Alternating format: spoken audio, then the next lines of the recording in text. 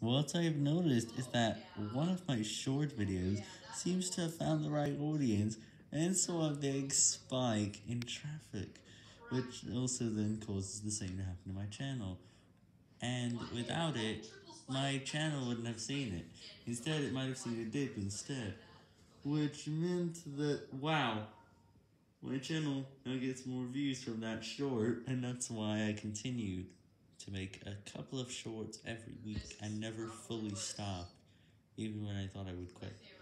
And that's because a few of those might see jumps, like what's happened today. Have you ever seen this?